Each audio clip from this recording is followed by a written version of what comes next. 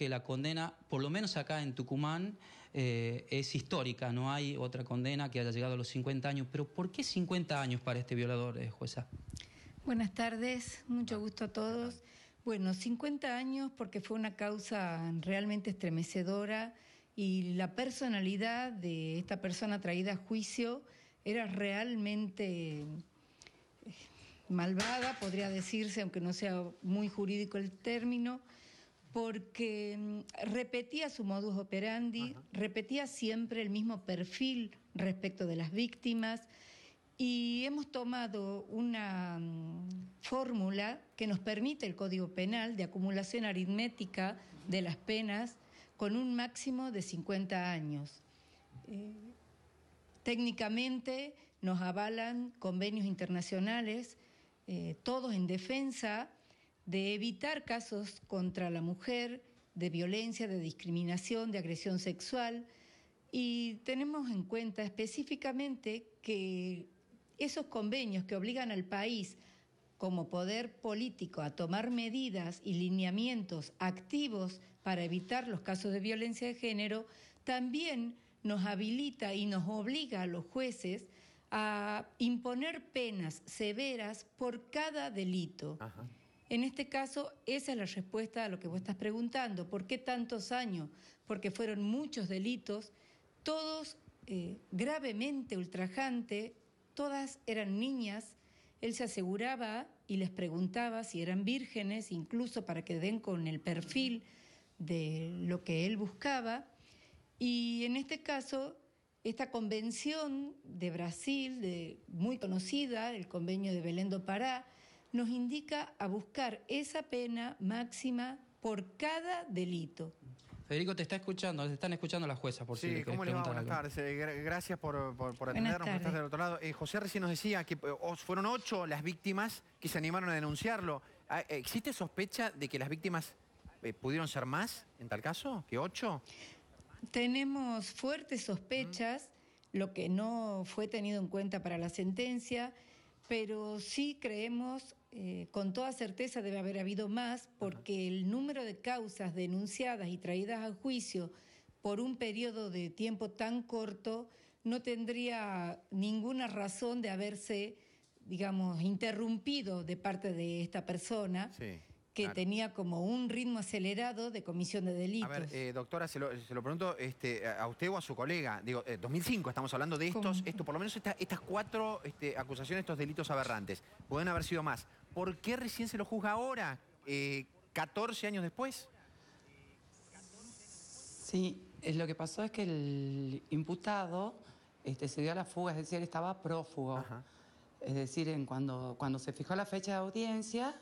Este, no compareció a juicio este, y bueno, estaba prófugo, estaba con orden de captura, con rebeldía. Bueno, en cuanto fue habido, este, se lo detuvo, se dictó la prisión preventiva y se fijó la fecha de audiencia. ¿Esto cuándo fue? ¿Cuándo se lo detuvo, el debate, doctora? Bueno, con el resultado... Este, ¿Cuándo se lo detuvo? Hace un año. Hace un año. Hace un año aproximadamente. Bueno, se terminaron de producir las pruebas y se fijó la fecha de audiencia. Bueno, con el resultado que hoy conocemos, que es este, una condena a 50 años de prisión. Eh, eh, Paula García quiere tiene una pregunta para ustedes. Eh, sí, ¿cómo les va? Quería preguntarles em, en, qué momento, digamos, se gesta esta denuncia. ¿Cuándo las nenas cuando hacen la denuncia eran menores? ¿Fue, digamos, cuando ocurrieron los hechos? ¿Se animan después de varios años? Hola Paula, buenas tardes. No, las denuncias fueron hechas de inmediato. Ajá.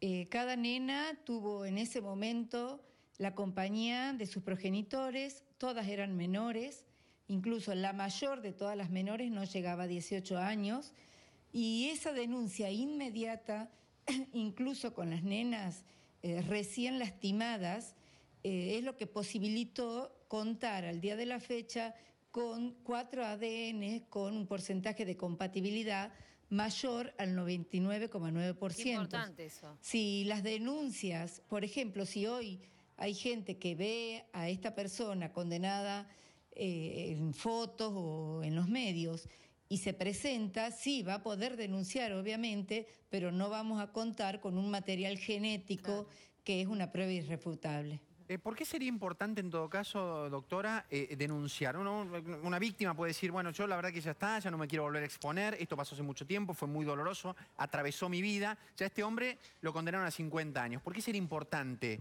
animarse ahora, eh, que, que nunca es tarde, a denunciarlo? La lucha contra la violencia de género, contra la violencia en cualquiera de sus formas, tiene que nacer desde la sociedad. Mm. Lamentablemente la justicia actúa cuando ya están cometidos los delitos y los daños a veces son irreparables. Entonces, eh, la convicción de que toda persona que denuncia un hecho está ayudando a que las fuerzas de prevención, la policía criminalística y posteriormente la justicia actúen, está jugando a favor de una sociedad más sana. Esa es la importancia de hacer la denuncia. Eh, qué, dolor para las víctimas haber, haber esperado 13 eh, años, haber pensado eh, después de 13 años que, lo suyo, porque son todas mayores, tienen alrededor de 30 años estas, estas mujeres, haber pensado que nunca se iba a hacer justicia, ¿no? Y que, ahora sí, digo, qué, qué, importa, qué reparador para ellas en algún punto, ¿no? Sí. Bueno, es, es dable de destacar precisamente que, bueno, que todas estas mujeres que fueron niñas y que ahora ya son mujeres que rehicieron su vida, tuvieron la valentía de presentarse al estrado, de declarar, sus relatos fueron desgarradores, fueron muy claros, este, y de poder hacerlo público, ¿no? de animarse a declarar, este, porque sin su testimonio no hubiera sido posible, digamos, llegar a esta, a esta condena ¿no? tan este, ejemplificadora y tan proporcional al grado de culpabilidad ¿no? de los hechos que... Eh, Pablo, le quiero hacer una pregunta, a, este propósito de lo que está diciendo, este hombre no sale más de la cárcel.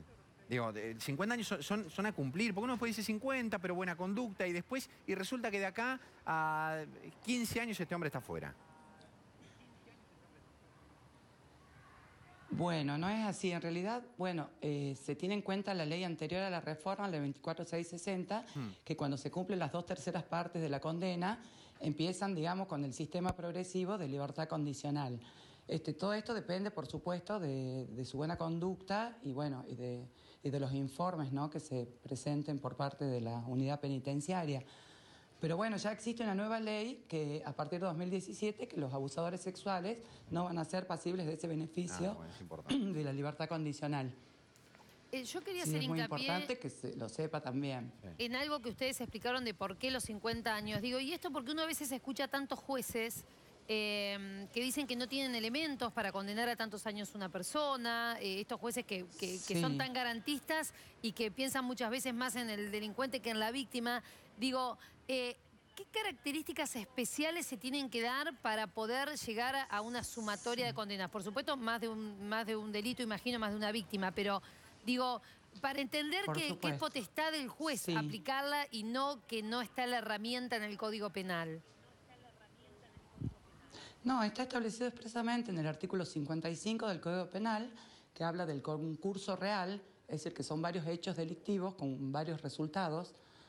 Este, y lo dice expresamente el código, ¿no? Que el mínimo va a ser el mínimo mayor y el máximo va a ser la suma resultante de los máximos, en tanto y en cuanto no exceda los 50 años. Es por eso, y teniendo en cuenta, como yo les explicaba recientemente, el grado de culpabilidad por parte del autor, el tribunal decidió por unanimidad aplicar esa pena mayor, ¿no?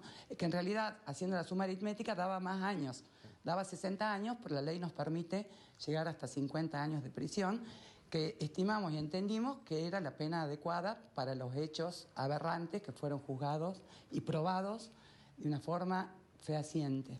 Sí, sí, sí, con, con eh, Le puedo agregar que procesalmente estos ocho hechos hayan llegado juntos en una misma causa, como lo que digamos en otras áreas como derechos humanos se llama mega causa, esa circunstancia procesal no puede actuar por sí sola como una ayuda hacia el victimario, porque entonces sería que tenemos un límite como de un delito, cuando en realidad fueron muchos más.